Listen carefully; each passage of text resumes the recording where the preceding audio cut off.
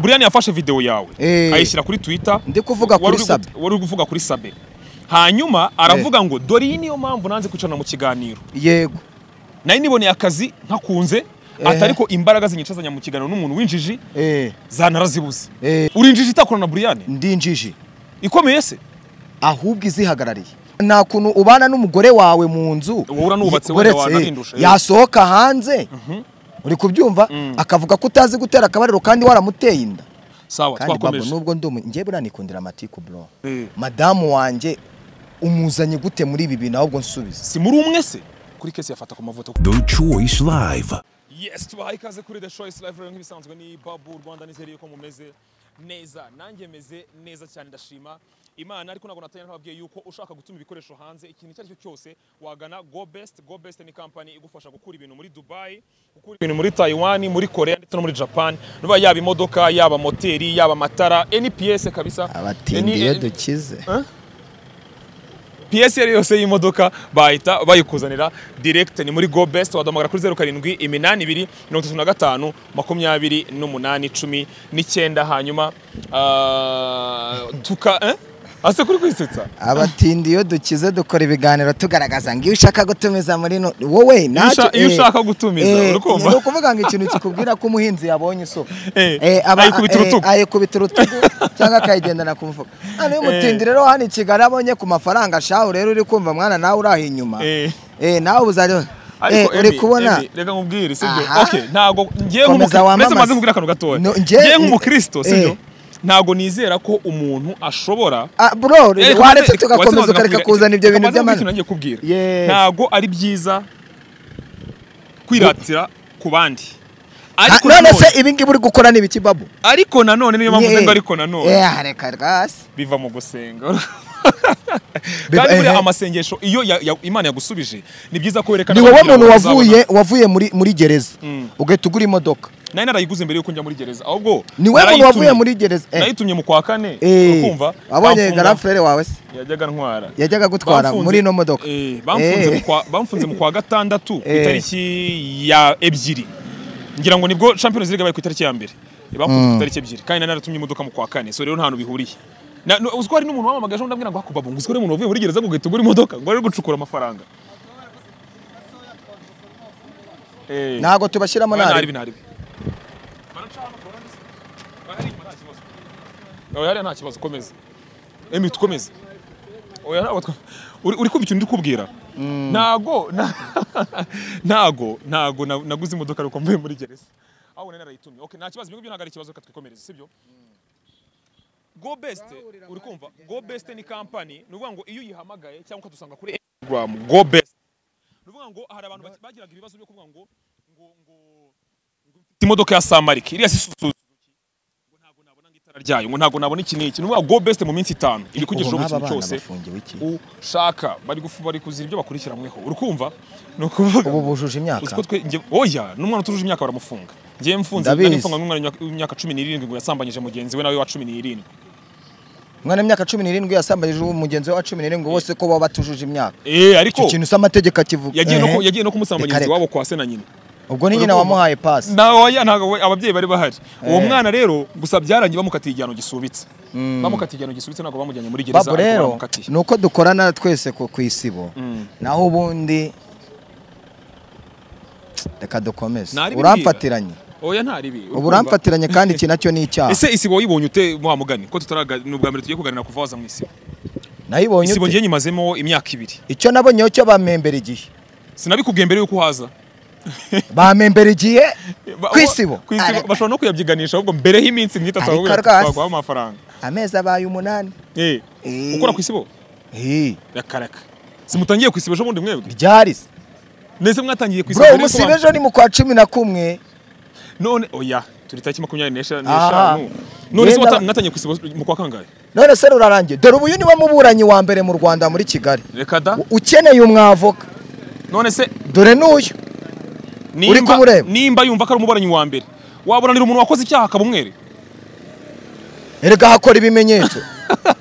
Eh hakora ibimenyetso. Eh, hakora ibimenyetso mu ru- mu ru- mu- mu- mu rukiko. Nanjye kukubwira ku isibo ni sawa hameze neza nta ribi. Twatangiye mu kwezi kwa gatatu Mm. mu kwa gatatu Eh, tugiye kwinjira mu kwa cumi na Eh, kumwe amezi umunani agiye kuzuza Eh, amezi umunani tutarajya kure wenda ni na byiza nari no kubikubazaho ni ubwa mbere wenda ugiye kubivugaho simbizi niba babivuze ahandi hantu. Mwatangiye ku isibo muri timu y'abantu batatu. Yatangiye ari wowe na jihadi ndetse na buriyani n'ubu turi batatu. Yego n'ubu muri batatu bongeyemo Eh. undi muntu. Havuyemo umuntu N'ubu undi turi batatu. yego n'ubu muri batatu. Eh. ariko mu minsi yashize buriyani yashyiye kuri twitter ye arapostinga ngo ashyiraho imwe muri video y'ibintu wari uri kuvuga.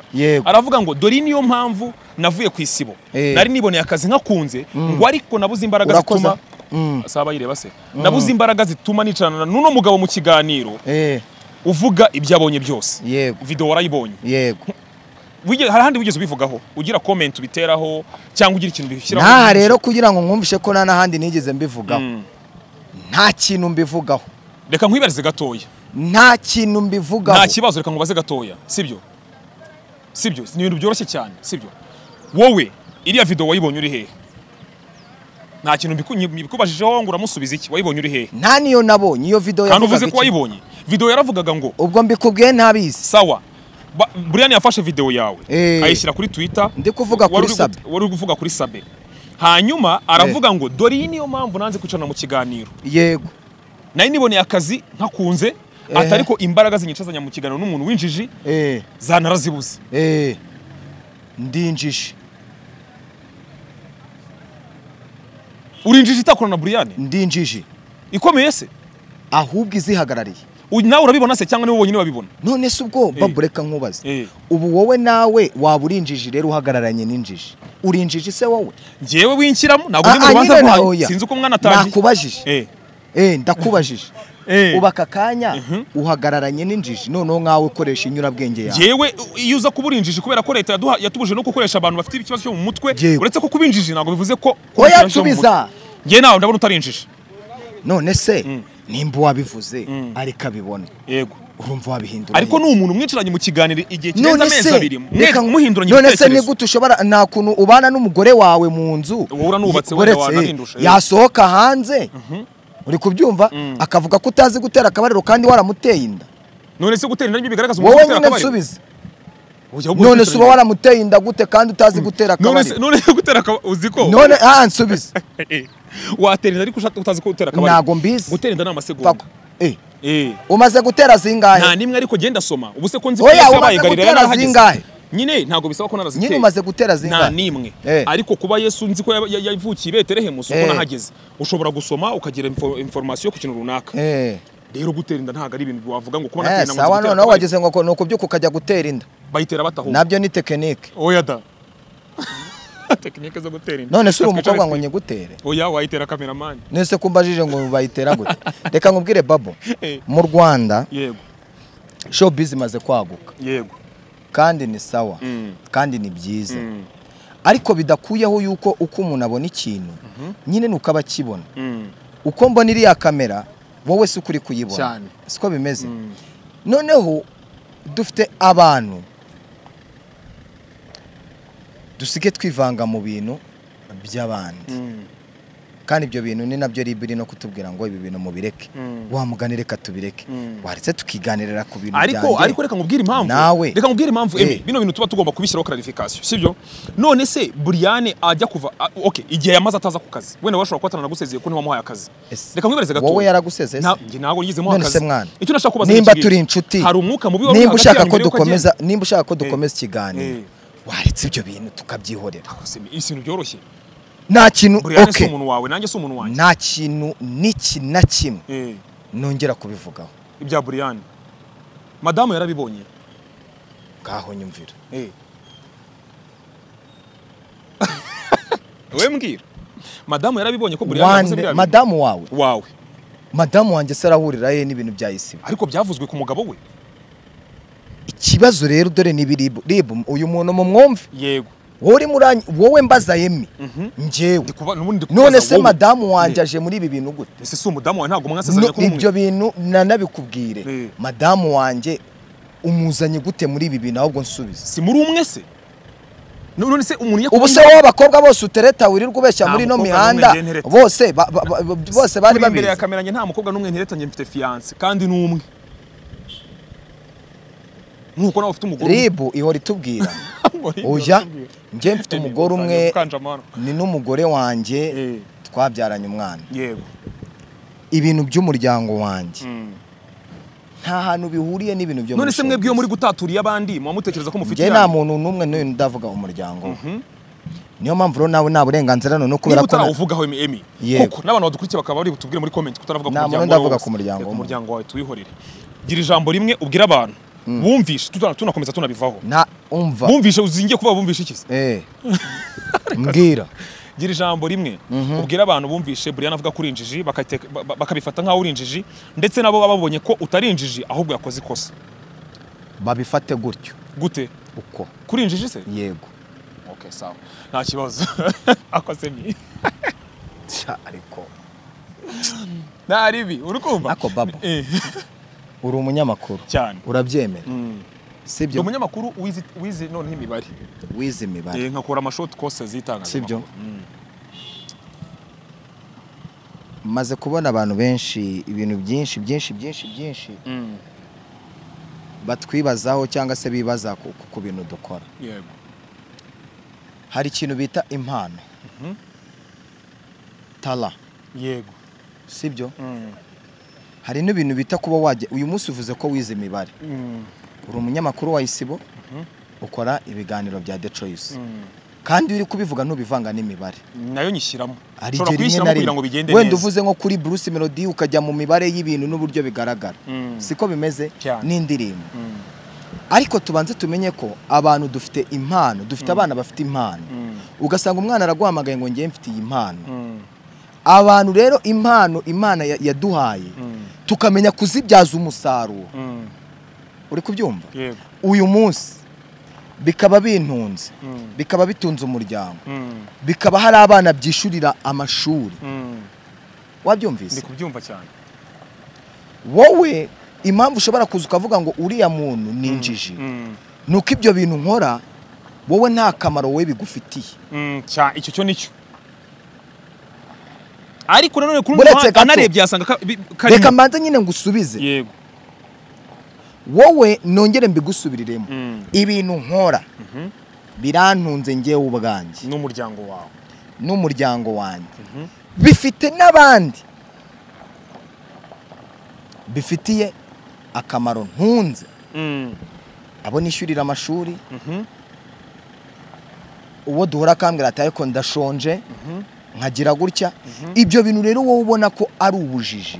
Bitunze abantu benshi. Impamvu rero uri buze kubona ko uwo muntu ibyo bintu ari ubujiji Mm. sibyo? Uri buze kubona ko ari ubujiji yego. ni uko bitagufitiye akamaro. bibaye bigufitiye akamaro. Ntago wabivuga? Ariko ahubwo ahubwo ngira ngo nimba bibaye ari uko bimeze. Bibaye ari ubujiji bubi bwabo bubaho. Ni ukumva ko iterambere rya mugenzi wawe. Nta kamaro rigufitiye. Kuko emi reka uretse gato tureke kubangamira uno mupapa okay sawa. Papa. Reka- kati. Ngwino ubanze tujye twubahana nyine njye ninza nkavuga ngo babu waguze imodoka mbi. Mm. icya mbere harimo ishyari. Icya kabiri kubera ko nzi iyo modoka yawe ni wowe wenyine uyigendamo njye sinyigendamo. Mfite impamvu zo kuvuga ko ari mbi. Mm. kuko njye niko mbibona. Ariko kuri ba bandi bayigendamo babona ko imodoka babu agendamo. Ari tesira. Yes. Yego. Ikindi cya kabiri. Mu rwanda dufite abantu batajya bemera yuko hari ikintu undi muntu yakurushije cyangwa yagusizeho. Babu amahirwe yawe siyo mahirwe yanjye. Cyane. Amahirwe yanjye Siyo mahirwe yawe. Mm. rero abantu twige kwakira igeno ry'umuntu. Mhm. babo sinzi nimba ari nabwo bwa mbere ngiye kubivugaho. Nyine sometime iyo abantu wenda babivuze so ndabumva ariko nkabihorera. Mm. kwiga ni iki? Kwiga? Aho kwiga ni mu buryo bwinshi cyane. Ushobora kwiga wicaye mu ishuri ushobora kwiga uri hano hanze isi ikakwigisha ushobora kwigishwa n'umuntu agu- mu rugo akakwigisha rwose uticaye no mu ishuri ariko nyine kwiga ni ukwiyungura ubumenyi muri rusange. Wicaye muri iriya modoka yagukoraga aho uri bagufunze. Warize ahubwo zinarize guza ko nanaminuje. Okay simvuze ko naminuje kuko amashuri aracyakomeje n'ubu nasubiramo kuko nta mugabo hari ahantu utahajya kuko nimba iriya modoka ishobora kuba yaricayemo umuntu uhagarariye polisi mu rwanda vuga urugero ndi kuguha oya buretse n'ibintu biba byumvikana bro. Ni ukuvuga ngo nimba iriya modoka ishobora kwicaramo umuntu uhagarariye polisi mu rwanda ikicaramo umuntu wari minisitiri ikicaramo umuntu wari depite ikicaramo umuntu wari umunyamategeko mukuru wari umushinjacyaha. Ntabwo ari liliane. Liliane ndamuzi se. Urukumva Tinyuka bivuze ngo uwo ari we wese yayicaramo n'uwayivuyemo yayisubiramo. Rero kwiga narize ariko ntibivuze ko ntasubira no sasa rero reka ibi mbigire clear. Ngiye nuko ibintu byanjye mbitwara kandi reka nkubwire. Ubu abantu bafite ibintu hari abantu bize iby'amategeko nibo baba bari turi kubona bambaye amakanzu. Mm. sibyo? Njya numva ngo mwagiye ngo kwisibira reka noneho mbivugira kuri the trace na yo yisiwe na yo yisiwe noneho icyo nakubwira abarimu banjye bose banyigishije bose naciye imbere ni abanyamakuru. Abarimu bose bakugishije ni abanyamakuru. Bamwe na bamwe. Eh, abenshi mu barimu bakugishije ni abanyamakuru. Ubwo wize Rero- he wize iki? uri kubyumva reka ako kantu nako um, nyine nkubwire kuko ni njyewe ubikwibwiriye ni wari unabimbajije kandi n'uyu munsi ndakiga. Iyo mbonye hari um- umugenzi wanjye wahuye n'ikibazo na byo biranyigisha. Sibyo icya kabiri philipita si umuganga. Yize muri field y'ubuganga. Sibyo yize? Yego. Uyu munsi si umunyamakuru mwiza dufite? Cyane. Mu gihugu mu ba legend ubu ngubu dufite? Cyane. Sibyo cyane. Umuyobozi w'ikigo cy'igihugu cy'itangazamakuru. Barore barore Mm. byagenze gute? We sinzi niba yarize itangazamakuru. Nyine ni cyangwa urugero atararyize Eh, n'abantu. Gusa biragoye ko bakugira umuyobozi w'igitangazamakuru utarize itangazamakuru. Nyine ni cyo nkubwira. Nyuma hari igihe cyabayeho muri RBA bakora Mm. igihe cyo kuvuga ngo aba bantu ba- bakora ibi bintu bijyanye n'itangazamakuru. Mm. ubu uyu munsi ni nabwo bwa mbere bivuze Mm. ndimo ndakora. Mhm. ndimo ndigira. Urabizi ko RMC bigira. Mm. ndi kwiga ikijyanye n'itangazamakuru. Mm. Mhm. uri kubyumva? Ubu ndi kubyiga. Yego. Urabizi mwese aha uranabizi. Twese barabiduhaye abantu bakorera. Ku isibo barabitanze kugira ngo abantu bafate information. Nyine bu- bi- biyungure ubumenyi. Biyungura ubumenyi. Si ukwiga se? Cyane. Ntabwo rero kwiga ari ukugenda ngo mvuge ngo ndangije kaminuza. Mm. ahubwo uko bwije uko bukeye ibintu bitwigisha biza ari byinshi. Cyane. Ribi duhugura buri munsi. Ibiri kuduha? Amagisa amasomo. Amasomo. Mhm. ahubwo ayo masomo ribi duha impa emi ndayumva. Mhm. ndayashyira mu bikorwa. Nicyo kintu bita kwiga. Mm. Kandi naje gusanga n'abantu benshi benshi uyu munsi ku isi bazi ubwenge. Ntabwo ari abantu bagiye ngo bige za kaminuza ba- bagire si byo se? Mm. ahubwo abanyarwanda twiga ikintu cyo kuvuga ngo uyu muntu afite igeno rye. Nimba nanakoze ikosa uvuge ngo "Tsk, iri kosa yemi warikoze gutya. Mm. umamagara umbwira ati ariko nyamara ibi bintu wari kubikora gutya ariko wabikoze gutya. Icyo gihe uba unyigishije Mhm. ariko iyo uje ukicara ari nka babo. Emi bamuhaya eh. uri kumva amana Mm. ese wowe uri gukora iki? Uba urimo umwigisha cyangwa uba uri kumusubiza inyuma? Ariko ashobora kukubwira ati ntabwo naje kukwigisha ku isi. Ntacyo. Mm. none se wowe uza kumenya gute ko nize? Birakumarira iki? Urumva iyo umuntu yize bigaragarira mu bikorwa akora. Ashobora kubona ibyo uri gukora bidahwanye n'umuntu wize. Agahita aza akabivuga. Wenda urugero ndi gutanga ntabwo ndivuga kuri wowe. Ni ukuvuga muri rusange. Kuba umuntu ya- yaguhereza comment in public sibyo? Okay by'ubupfura by'ubushuti. Wagize ikintu ukosa naza nkabikubwira. Ntabwo naza nkicara hano kuri choice ngo ntangire mvuge ngo emi yererere yererere wapi? Ariko nanone bitavuze ko hari igihe nshobora no kubivuga none se nk'urugero naguha nk'urugero ni byo bahoraga bavuga ati ah, mu- mutesi sikovi yashoboraga guhamagara rugagi bakavugana. Ariko hari igihe ibintu biri mu, nyungu za rubanda nyamwinshi ushobora kubivugira mu- n'ubundi mu ruhame. Hmm? njyewe muri ibi bintu maze kubona maze guhura na experience nyinshi. Mhm. Maze guhura n'abayobozi hano mu Rwanda bakomeye kandi bose urabazi. Mm. ntabwo najya kwicara imbere y'umuvugizi w'igihugu Mm. kubera ko mfite ibintu uri idebe ndidebe wa mugani biragoye. Sinshobora kujya kwicara imbere y'umuvugizi w'urwego rw'igihugu rw'ubugenzacyaha. Kandi kuko mwakoranye n'ikiganiro. Buretse ndi kuguha ingero. Ibyo biganiro birahari. Sinshobora kujya kuganira n'umuvugizi wa guverinoma. Wungirije. Wabyumvise Mm. kubera ko ntari buze gutekereza ikintu ndi buze kumubaza sindi buze kwegera Thierry Mm. kubera ko nta kintu ambonamo sindi buze kwegera umuvugizi wa polisi mu gihugu Mm. kuko nta kintu ambonamo Mhm. wabyumvise ahubwo ba bantu dufite muri showbiz yacu bamwe twaraje Mhm. Bumva ko tugomba guherana ku ntambwe imwe yabona wa muntu uteye intambwe ije hano gutya? Mm. bikamurya mu mutima. Mm. twige kwakira ikintu bita igeno. Mhm. igeno mani bro icyo kintu ni cyo tubura babo. Ninishimira iterambere ryawe. Uriho. Mhm. nzaza nkwegere nkubaze ese babo ibi bintu wabigezeho gute kugira ngo nanjye mbigereho. Mbigereho. Icyo kintu rero ni cyo tubura. Mm. none se nujya kureba abantu basasibirije ibyo bintu. Mm. bakabivuga. Harya ni bande ni wowe ubazi Ni wowe ubazi si we basansibilizaga Eh. uri kumva? Eh, si we basansibilizaga se njye ibyo Nyine nsubiza. ahubwo wowe ibyawe byageze wowe se kutabivuze. Yewe se twarakoranye. Oya wowe none wowe se si umunyamakuru. Ariko ntabwo twakoranye wowe wowe kutabivuze se nari kuba mbona gute ubuhanga bwawe n'ubujiji bwawe gute tuticaye kuri tebi imwe ngo dukoranire ikiganiro? Eh? Nari kubivugaho gute? Kandi warabibonaga ibyo dukora. Kandi njyewe ntaba no kuri twitter. Nari kubivugira hese n'aba kuri twitter. Nga ibyo bintu ntubigarure reka twikomeze ntago. Ntaribi gusa wenda ikintu nakubwira cyose abantu badafite abantu bafite tayimu yo ku sawa nta kibazo. Kandi emi ntuzavuga ngo twari turi kumwe. Ibiki ntacyo. Sawa twakomeje. nubwo umu- njye buriya nikundira amatiku bro. Uzi impamvu njye ntabwo nkunda amatiku wowe noneho ni we munyamatiku wa mbere. Ubu duhagararanye turi abanyamatiku. Njye nshobora kuba naje gusanga ari wowe shefu wanjye. Njye naragukurikiye. Eh, muri mu kiganiro mhm, kuri the choice wowe mhm, Phil Peter mhm, muri kugaruka ni nawe wateruye iyo tweet. Urabivuga Eh, uravuga tuvuga kuri iyo tweet? Eh. Yego. Aha na Dani Rurema. Na Dani Rurema. Eh nawe wayisomye buriya naje gusanga? Ni wowe? Mhm.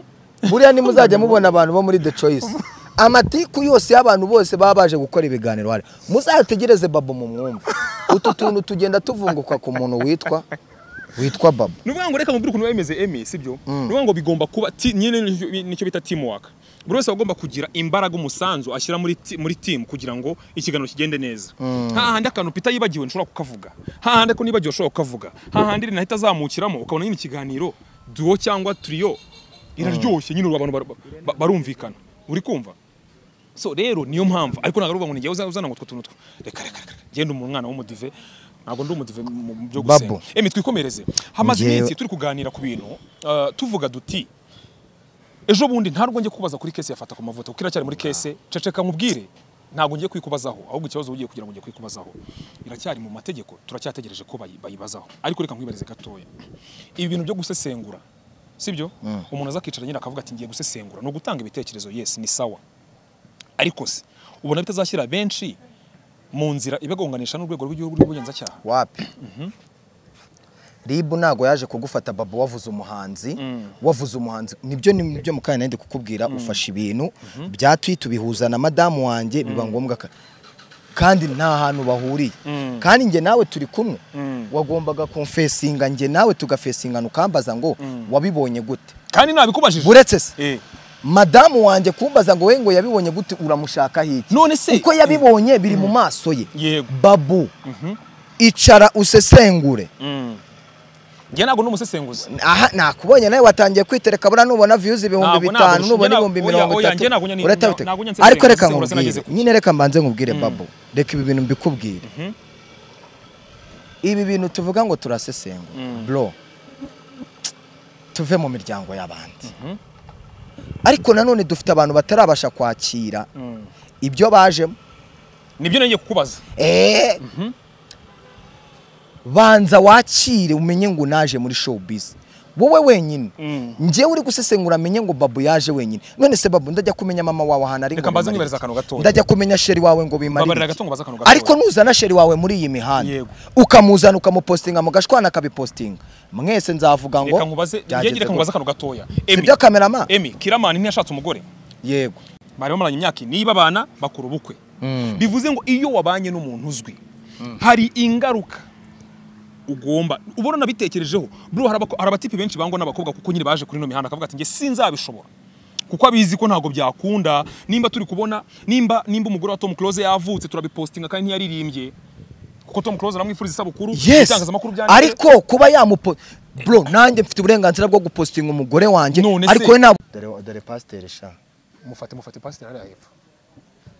Uri kumva? Noneho uri kumva ikintu ndi kukubwira? Mm. Wabonye pasiteri se mwana akavuye kubura? Umunyamakuru. Mm. we we we mureba ariko urabona ko bambaye neza? Eh, umunyamakuru sibyo? Umunyamakuru. Ni umuntu utara agatunganya akanatangaza. Inkuru. The Choice Live.